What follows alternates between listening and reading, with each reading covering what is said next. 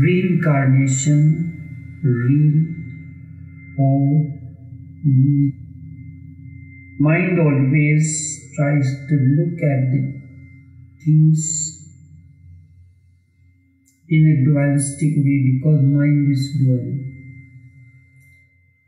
Remember, there are two parts of your mind the objective and the subjective aspects. The, the right side of the brain and the left side of the brain. And there is no harmony between the two. And without the harmony between the two, it becomes difficult to arrive at a decision which is not affected by any of these. This is the middle path, the neutral. That's why I have to say, is reincarnation real or myth? If I have to answer you this question in one sentence, it is both real and a myth. How can something be both real and myth simultaneously? It is very difficult for mind to conceive of this. But the reality is that it cannot be understood by the mind. When Albert Einstein was studying the behavior of the atom, it is stationary. But at the same time, it was acting as a wheel. How can something act as a stationary and as wheel simultaneously? When this question was asked Albert Einstein, he simply responded, What can I do? Should I deny the truth and rely on the logic? Or I emphasize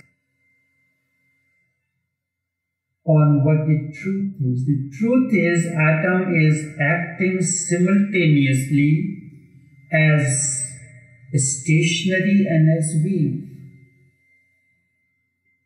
When it is coming reincarnation, you have to know something. All the religions say that God created man in his image. What is his image? Does his image resemble that of you? If that be the case, there are people of different bodily complexion. There is a difference. It is said now during the Christmas period there are many pictures that are sold because everybody wants to have a new image of Jesus in the house. So I have observed when we were having the business, we have the image of Jesus with blue eyes. We also have the image of Jesus with a Rastafarian hair. Everyone, it is said God created man in his image. Now, man is creating the image of God like his image. But the fact is this God is not a person sitting somewhere. If you still believe that, that means you have not come out of your childlike understanding. There is something deeper than that. Muslims say that God created the body and then He tried to put the soul into it, but soul could not stay. So again the question comes, is soul something tangible? And then he put the light nur from the forehead of Holy Prophet Hazrat Paighambar sallallahu alaihi wasallam. Then the soul stayed on. Now scientifically when we look into your body is formed or comes into existence with an interaction of ovum and sperm. Ovum and sperm interact with one another. With that interaction, the body is formed. This is ephemeral. Hindus say it is composed of five elements the water, the earth, the ether, fire, and space. And during the time of conception, some say it is at the during the last three months of the pregnancy or at the time of the childbirth, something enters and that over which there is no control. Hindus say that the soul that enters the body that gives it aliveness and in the absence of which the body is considered lifeless has nothing to do with the parents. It is neither born nor dies. It always is. Now there are these two aspects. Let me take a simple example. You have a structure and where the structure is to be. The structure has to stand on an empty space. On that, according to your architectural design, you create a structure. Now you decide to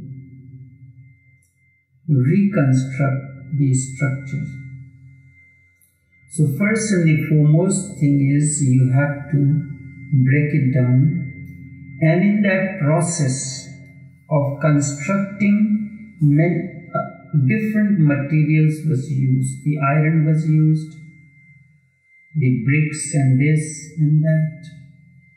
So when you break it down, these components which stay together to form the walls do not exist in their natural form as they were existing during the time when the building or the structure was there. Everything dissolves into its components. So when someone dies, the various components dissolve into its total totality. Whether you cremate the body or you burn it, it does not matter. The earth, the water, the fire, everything dissolves into its components. And that which is never born, never dies, you cannot do anything. So when it comes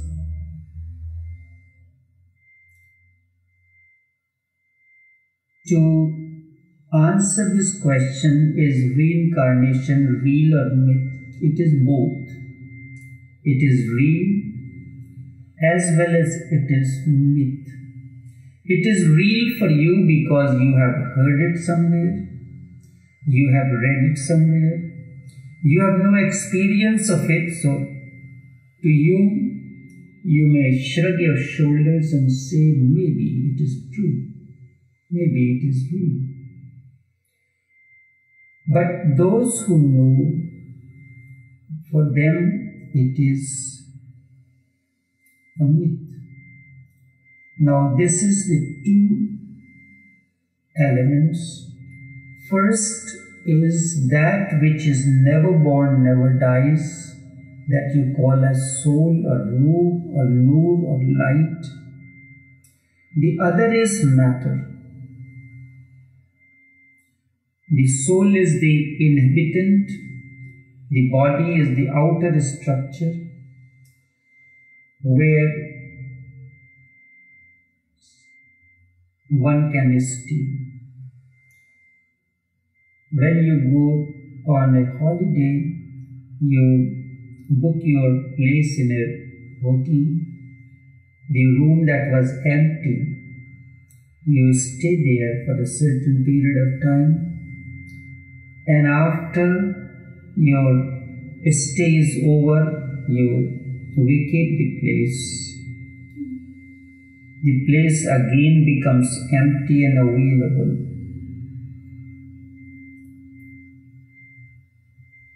But there is something that connects the two. The being, which is never born, never dies, does it, does it have a mind?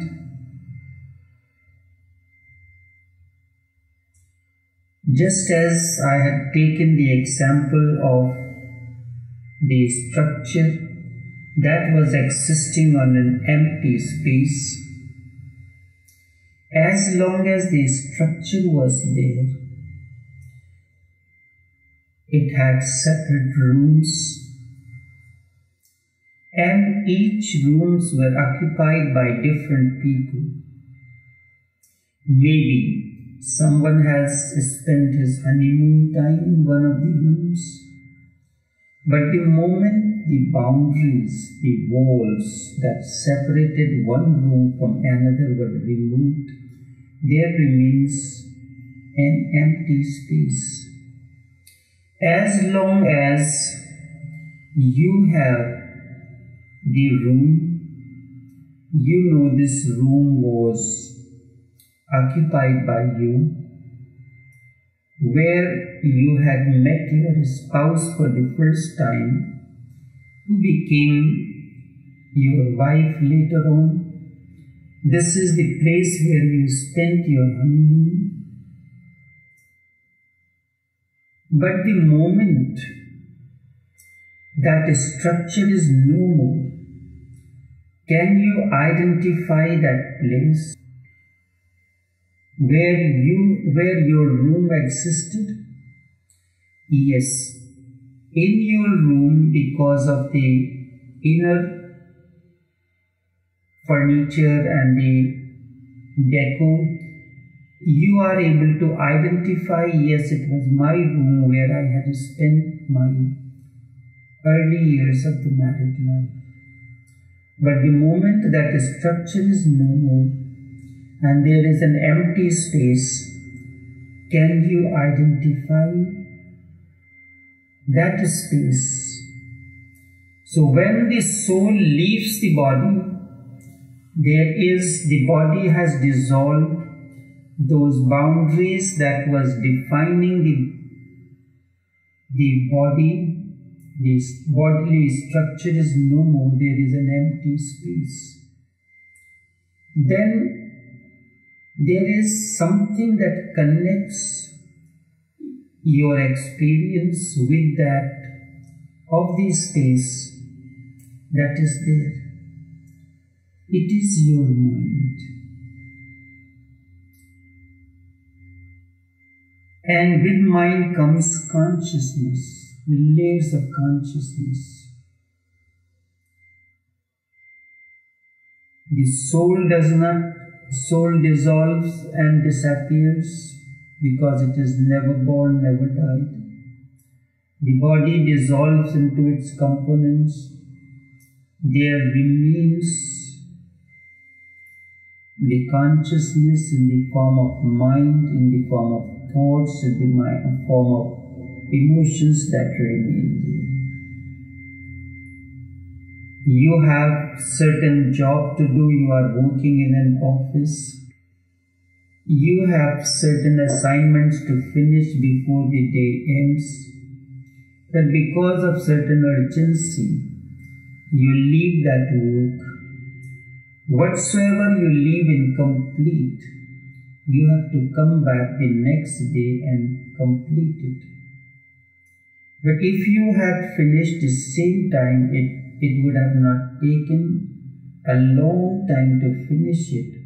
But when you come back the next day, then you will have to refresh and suppose if there is a long weekend, you have to recapitulate everything before you can finish it. It takes a little longer time. With this, there comes layers of consciousness. Because there is one, your conscious mind, you are doing consciously, and this is one part which is conscious, and nine parts is unconscious. You are driving home, you are not conscious, it is the physical mind. Automatically, your steering turns towards the house because the body, the cells of it, has a memory of its own. This is unconscious. You are eating something, but you are thinking of something else. The food enters you in a state of unconsciousness. Then so these two layers, conscious and unconscious, then the unconscious has two more layers. You are ignorant. It is easy for you to understand. You are ignorant. Particular circumstance and situation has happened and you are acting ignorantly you will meet someone who will act in the same way. So 1 plus 1, this does not add, instead it multiplies. This is collective unconsciousness. You, there is a roet. You will not go and thief if you were in your conscious state. But when you are a part of mob or congregation, you will enter into certain things which you will not do otherwise. Everybody is looting or engaging in the activities, you may pick up something. This is collective unconsciousness. Then there is cosmic unconsciousness. And the example of cosmic unconsciousness is Simple example is that virus. What is virus? It is during certain period of time there is tremendous energy released in the cosmos. And when your body is not able to absorb that extra energy that is surging in the cosmos, something happens to you. You have a bulb which is capable of only taking a certain amount of wattage and voltage. If the voltage changes, the bulb will blow. If the wattage or more current is surged into it, it will blow. So sometimes it happens when there is a surging in the current, the bulb blows. So during this certain period of time which Hindus have specified by nine days of worship as Navratri, I am not propagating any religion here, but when it comes to explanation and for that matter any example that has already existed I am free to use that. It is said during that period when winter is coming to an end and you are entering into this summer, there is extra energy in the cosmos and your body's immune system is weak. It is not able to absorb that surge of energy. It creates ailments. We call it ailments. It means extra energy is coming to you, but you are, your body is not capable of absorbing it. If your immune system is strong enough, you can use that extra energy that is there, you can harness that energy, you can preserve it,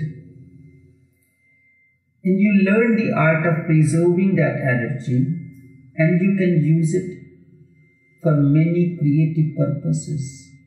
But if not, the same energy will become destructive for you. And that is what we call virus. But if you your immune system is strong enough, the virus will not affect you the way it will affect one whose immune system is weak. So certain precautions has been mentioned. Similarly, when winter, the summer is coming to an end and you are entering into the season of winter, again that period is specified as very vulnerable. Tremendous energy surge in the cosmos and you, the weaker consciousness is not able to absorb that. So there is a disruption. When I spoke of the your individual consciousness and unconsciousness, collective, and this is an aspect of cosmic consciousness. It affects you. When there is extra surge of energy, it affects every single individual, creatively or uncreatively, positively or unpositively, positively or negatively. Now keep this in mind. In the same way, there is consciousness if you are in the company when you go into satsang, it becomes collective consciousness. You meet someone who resolves your doubts, gives you insights, helps you to grow inwardly. This is consciousness, collective. Now, the same situation, that virus, the extra surge of energy, if you are able to filter its effects, it will become a great moment of creative instincts to be born into During full moon night, a number of people gets mad and during the full moon night, it was Gautam who attained to enlightenment, he became Buddha. So the circumstance and situation is the same. How you interact with it, it can give you the creative instincts or the otherwise may be the case. So if you put or draw a graph, the x-axis and y-axis as we do in geometry. Place where x-axis and y-axis intersect one another, there the coordinates is 0, 0. So the x-axis is the one that runs from left to right and y-axis is the one that runs vertically from below to the higher. And where they intersect one another, that is the ordinates is 0, 0. To the right of that 0, 0 ordinate or the center. The x-axis is positive and y-axis is negative. So these three layers are below that. The unconscious, collective unconscious and cosmic unconscious. And three layers above consciousness, the collective consciousness and cosmic consciousness. So when you are interacting in a particular circumstance and situation, you interact under the influence of these layers of consciousness. And whatever residue remains in you unutilized, it has to be disposed of properly. You have gone for a dinner, there is a buffet table, number of delicious dishes are served. You do not, you are indecisive which of these items you should take and which you should not. Not knowing that this item, how will it taste, whether it will appeal to your taste buds or not, you take it. And whatsoever food is left over in your plate, what do you do with it? You leave it on the platter. And then that goes into the garbage bin. It is putrefied. In a particular circumstance and situation which you have not understood, and whatsoever is residue that goes into your subconscious and unconscious layers moment to moment. This is how our layers of subconscious and unconscious continue to become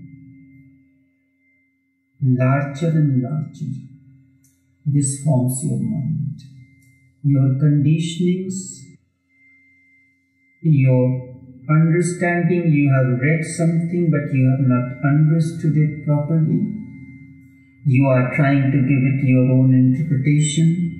There is a vast difference between the layer of understanding or layer of consciousness of an awakened one and you. From your level of understanding, you cannot understand an Albert Einstein.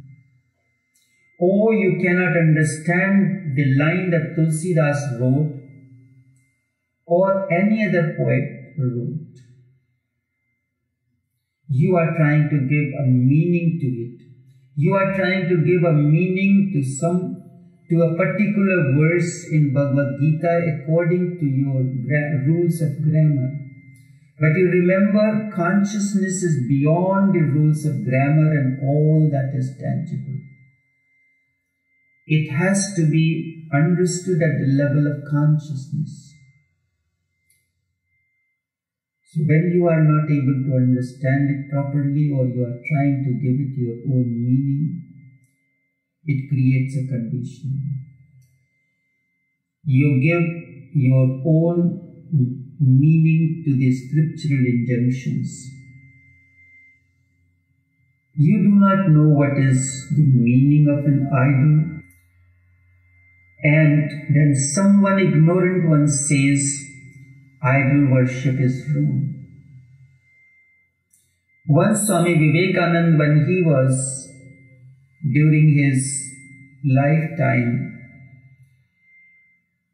moving around a question was asked Is idol worship wrong or right? We have an image of idol in our mind. The similar question was asked when he went to attend the Parliament of Religions. So he was in one of the king's place in India. So when the king asked the question, he drew the attention of an image that was hanging on the wall in a beautiful picture frame. He said, Whose image is that? Whose image is that? So the king exclaimed, the person in the image. He asked, Can you bring down the image? It was brought down because Vivekananda asked. Then he asked the king, Can you spit on that? The king got angry.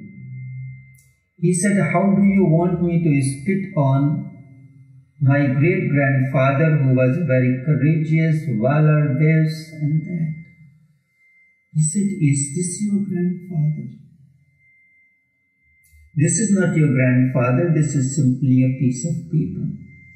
On that piece of paper, something is inscribed, but this does not. This has nothing to do, this image cannot speak. However, with this image, your emotions are connected. This image reminds you of the qualities of your great grandfather or the ancestor. It reminds you of the qualities that this ancestor represented during his time. The purpose of the idol or the image is to connect the two shows. You are a form, you have never seen that ancestor or grandfather of yours, but you have something that reminds you and it helps you to go into that realm where you have known His qualities, His greatness, His courage. The very purpose of idol is to connect the form and formless. And the moment this image or the idol becomes a bridge between the two shores, form and formless, the purpose is finished. Then everything that is there, form, the spiritual journey is movement from form to formless. The moment you enter into a formless realm, the purpose of the idol is finished.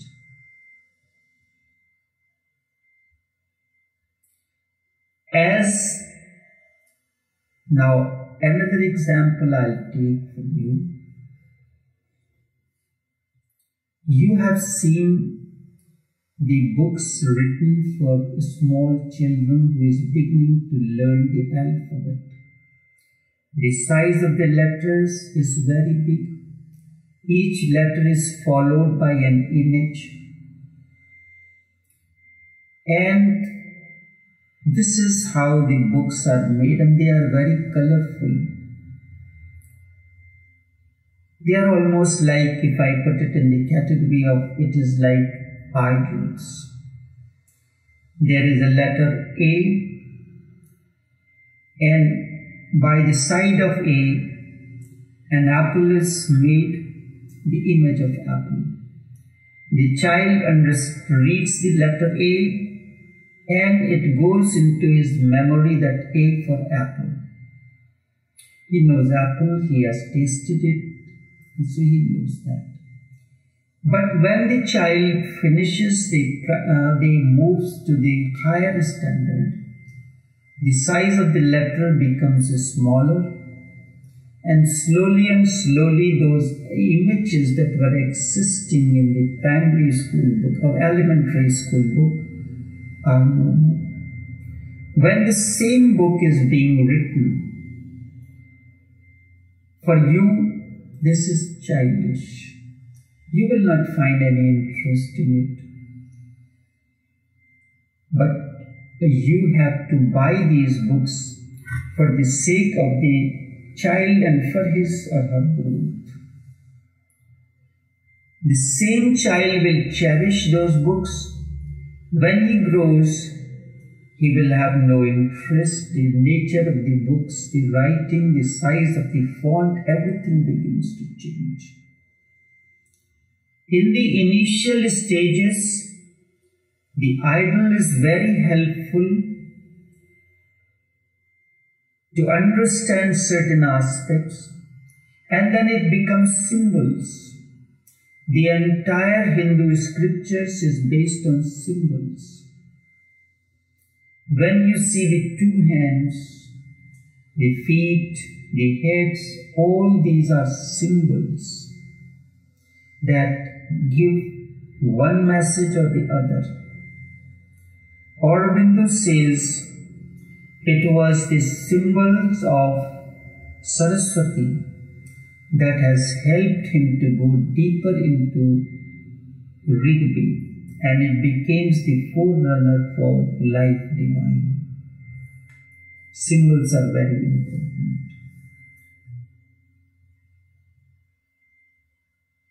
The ten heads of Ravan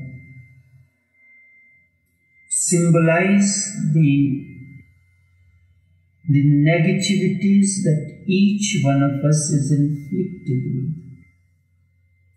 This is allegoric. So, idol, when you are trying to understand something from your level of consciousness, you cannot understand it. There is a vast difference between your level of consciousness and that of the master. Then, how can you understand the master? The most important thing is this you start resonating with Him. If you can match your breathing with His breathing, then something begins to happen. You start lip synchronizing with Him.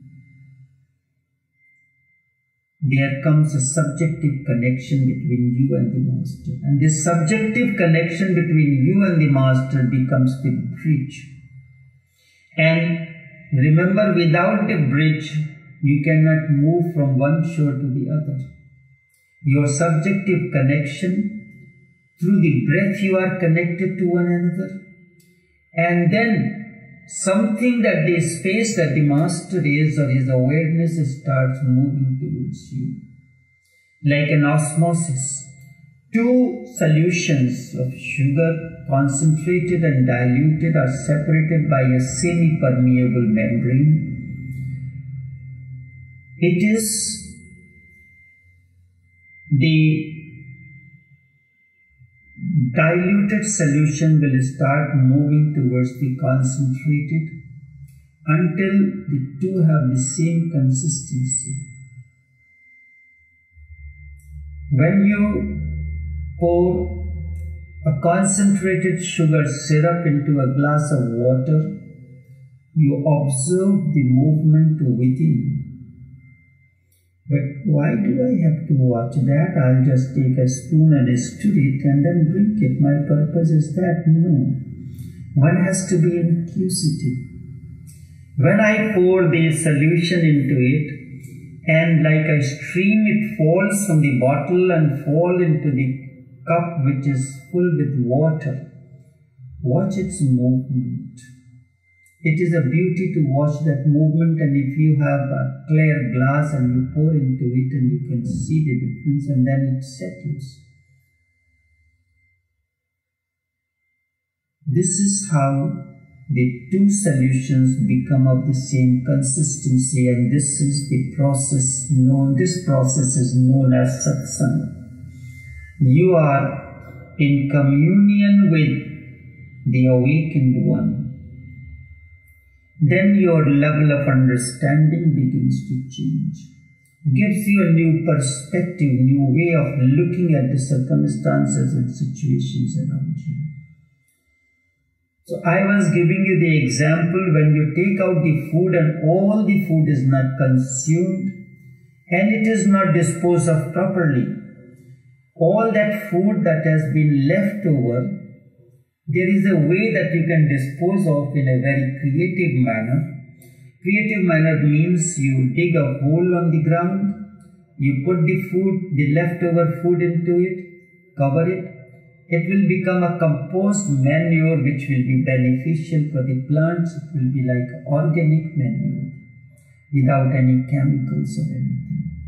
But if you allow in the garbage bin, it will gather fungus, many insects, which are very important to decompose it into its various elements. There may be a smell for some time, and then when everything the insects that has been born out of that putrefied food has decomposed the entire food into its components it will the insects will vanish automatically the food so this leftover food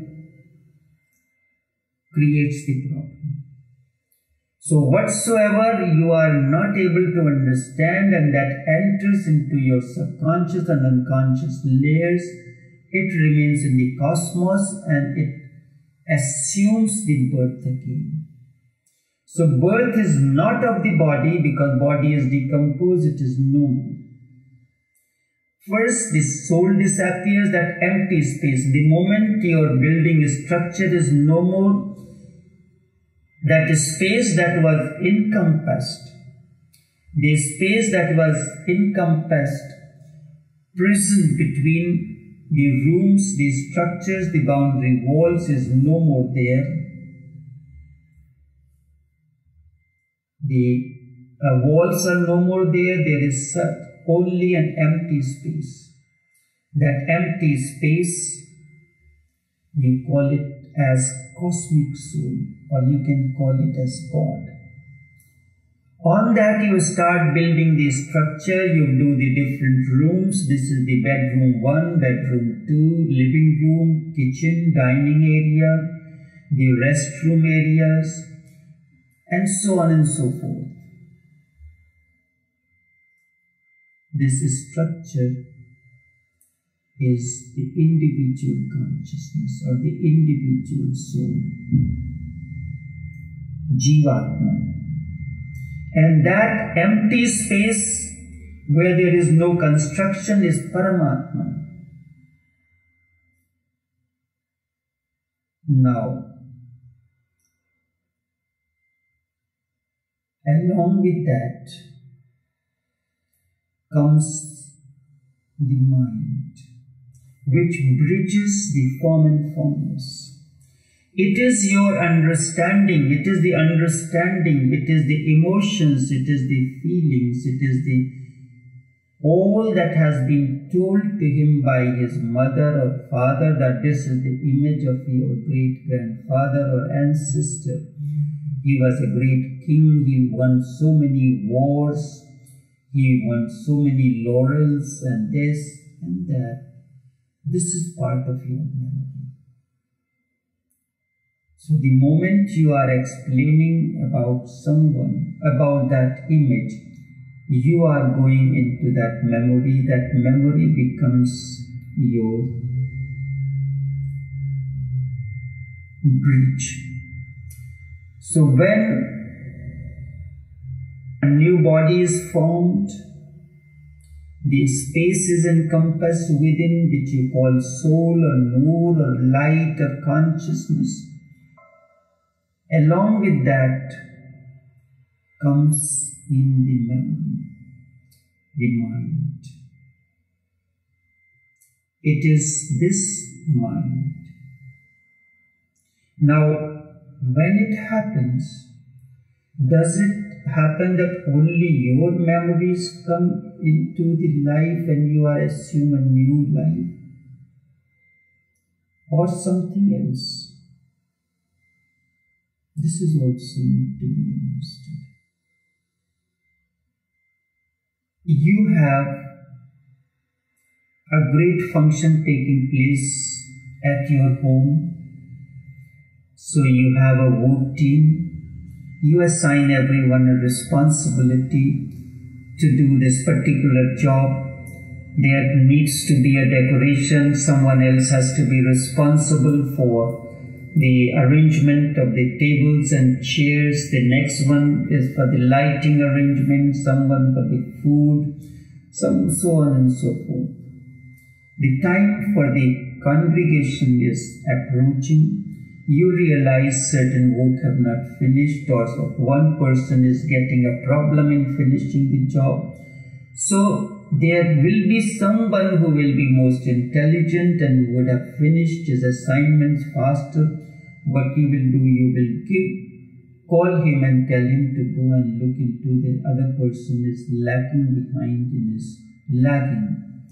He is not able to finish his job, so you finish it because it is our responsibility to make sure that everything becomes spick and span before the function actually begins and the guests start coming in. In the same way, every individual is given an assignment to do. You have given a certain lifespan, and during that period, you have to fulfill, finish your assignments. But if you are not capable of those unfinished things remain in the cosmos, and those who are capable, they are given certain responsibilities. So as a result, sometimes it happens you are traversing along life's roads. All of a sudden, you see a person, something reminds you it gives you an indication that you have known this person. So that person is a part of the empty space of which you were. You are also a part. When the structure was rebuilt into a new format, a part of the space of your bedroom has gone into the other person's bedroom it may give you an and where this information where this is coming out of your memory yes this was the place where i had lived where i had my honeymoon period or so on and so forth. This is part of the unconscious and subconscious mind. Those events, those things that you have lived consciously, the food that you have eaten it properly, it has been digested. It has not created any problem into your body. It has it has completed the process of digestion and in the process of digestion, the blood goes through the bloodstream. It is decomposed into its components and finally in the process of decomposition energy comes into and the energy goes into various parts of the body where it is needed. This energy comes from the physical food that you eat. Same way it comes from the emotional aspects of it. And then the spiritual. That is a different matter altogether. So the the unconsumed part of your consciousness remains and it gets mixed up. just as the food that was left over in your platter it gets mixed up. And when you dispose it off it is mixed up. Out of that some goes into this particular hole to decompose properly the next if it is a, after the a get together or after a function, there is a lot of leftover food. It has to be decomposed. It has to be disposed of properly. So it is the subconscious and unconscious layers that assume the birth again and again. So neither the soul moves from body to body. It is said everything is part of the one cosmic reality. So we can say the mind is also a part of that empty space because mind means memory and memory is of that empty space. Where once there was a structure, a prison like structure in the form of rooms, the room that you had occupied. It is also a part of that empty space. Everything that the structure had, the bedrooms, the living rooms, is part of exists in that space that we call it God. Everything exists in this space that we call God. And that space remains there without any change the only thing is the structures keep on changing. Neither the space is expanded nor it is contracted. It remains as it is. God is as is. But when we look into the limitations of it, individual consciousness grows and expands. It grows and expands to attain to the cosmic texture. And that process is enlightenment. So in reincarnation is both, it is an illusion for one who knows it and it is a reality for one who does not know. Sometimes it happens when you are interacting with the little children. The child asks you a question and you do not know how to explain that to you. The child says, Dad or Mom, you don't know my teacher knows everything because the child is at a certain level of consciousness where he can understand only a person who is teaching at that level. He will not be able to understand a PhD student because there is a vast difference between the level of understanding of a PhD scholar and that of the child. But there are teachers who are trained to teach the primary school students or the preschool students, and that system we call it Montessori system.